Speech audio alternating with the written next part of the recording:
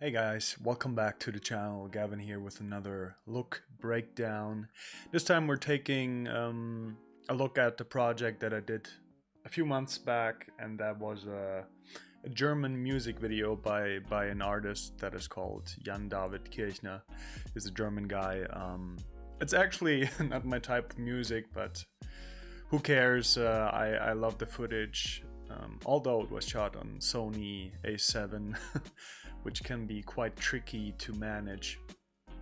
Um, but I thought it was shot beautifully by, by uh, students from the Film Academy here in uh, Germany, which is quite a prestigious uh, film university. And um, I've, I've uh, received many projects from there in the in the past, and I always like to help them out um, doing their projects and they wanted uh, a look that is close to uh, the movie Midsommar, which you maybe know. Um, I will just uh, show you uh, some some stills that we used as a reference, um, which are honestly um, kind of all over the place in terms of looks because I mean it's a movie. It doesn't all the shots don't have to match, of course. Um, but I still think we managed to uh, get a look close to that. So uh, let's take a look at the stills that I chose. Um, so we have here, um, that's one of the stills. That's not what I wanted. Here we go. Um, so we have this one. You see quite cool greens. Um, a lot of magenta in the skin, a lot of magenta all over the picture. Um, quite saturated in terms of the flowers at least, and uh, the skin has a nice warm tone, nice but still a bit of magenta in there, very uh, lifted. Um, so there are not a lot of blacks in there and in in contrast. I'm not sure if this is actually still from the movie but that's how i want to showcase um, why why the grades all over the place in this movie um, kind of. I mean it's a different time of day of course. It's a movie. It's all all good. Still a beautiful a beautiful picture um, but it's more contrasty here. Um, this is also very different. I'm not sure if this is actually one i just saw uh, um, when I when I googled googled it, and this is also very nice, very nice picture here. Um, again, soft greens, very light greens, um, one toned in the skin, and this one again very saturated uh, in terms of the flowers. Um, look at her expression in in the picture here. Um, yeah, so that's what we have in terms of the film. So um, you can see here, that's how we started. There's a Sony A7, like I said. Um, they put quite some effort into uh, into uh, all the set design and the props and the, all the people they managed to uh, to get. Um, I mean, the scene lives especially from or the shot lives from all the you know the young women picking uh, flowers in the field and yeah. Um, so um, we started i mean i was kind of scared because it was sony like i said. Um, so um, because somebody said he wanted to see the the scopes here better um, i just put them here. Um, we actually started with the S-Log 3 LUT here. And as you can see it's quite yeah uh, greenish. That's just how how Sony works. Greenish yellow stuff um, all over the picture. And um, yeah so before that I like to do some primaries before that um, and uh, I just started out by making it um, a bit darker to see how the contrast works. And um, then we went into uh, overall contrast again and put some color in there through the highlights um, which you can see here. I just made it warmer and also a bit cooler in the mids. And uh, so it got kind of a balance here you can always see the wheels that I used here so it's a much more natural picture now although it's very saturated I then went and uh, reduced the highlights up there a bit. You can hardly see it, but it will change the picture in the end.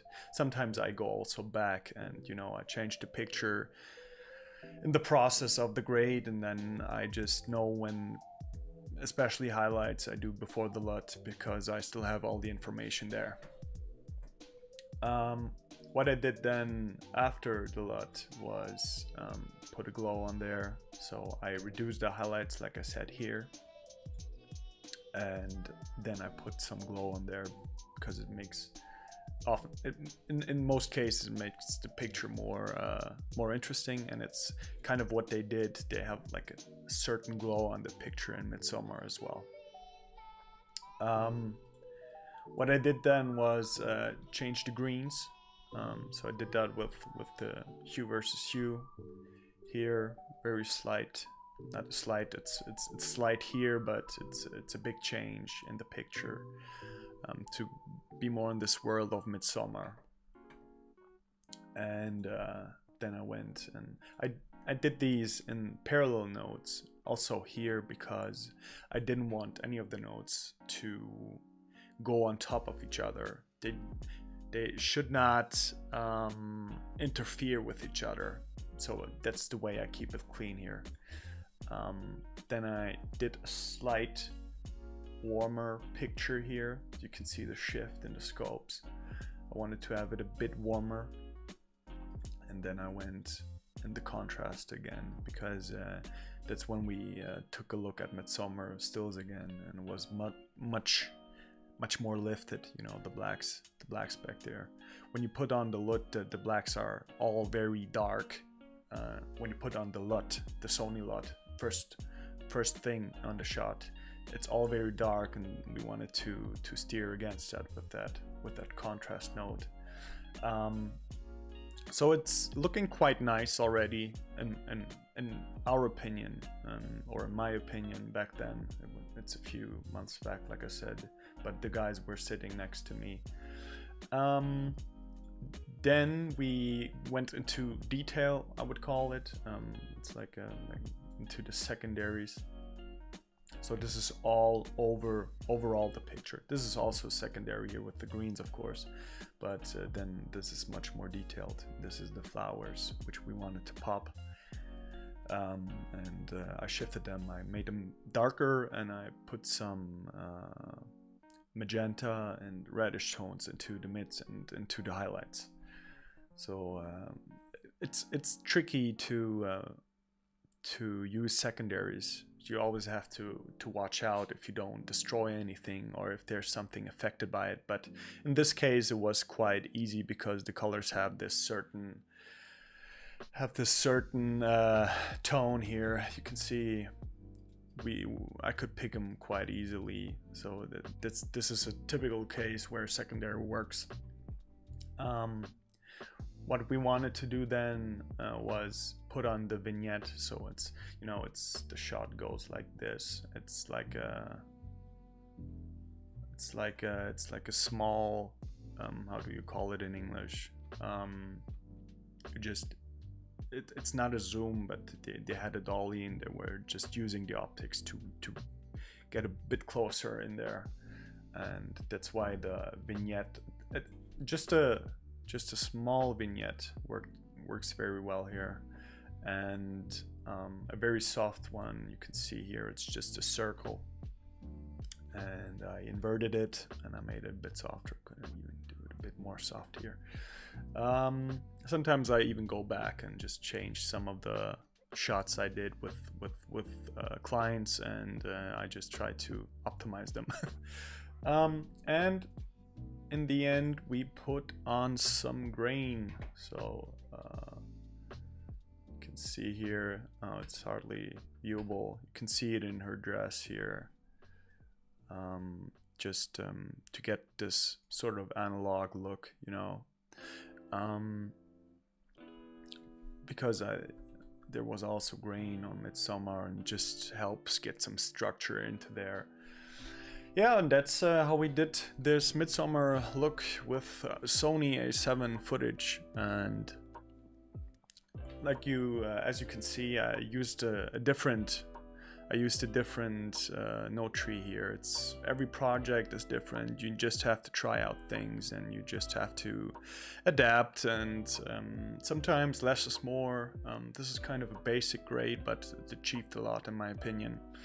And yeah, I hope you like this one as well because the last one was very. Uh, the video was a, a great success in my books.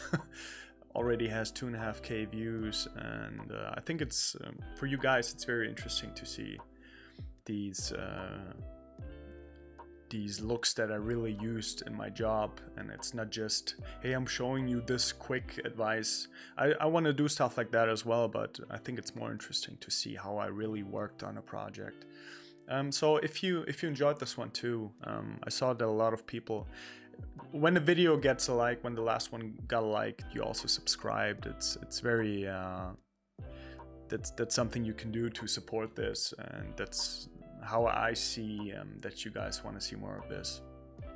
Um, yeah, so this is uh, the second one in this in this series, and I hope you guys enjoyed. And uh, it's a lot of fun for me, and I hope to see you in the next one. And as usual, after this, uh, you get a a quick, uh, you know, the swipe, the swipey shot, and then I will show you the whole music video, um, which was released uh, also a few a few weeks back. So hope to see you in the next one as well. Cheers, guys.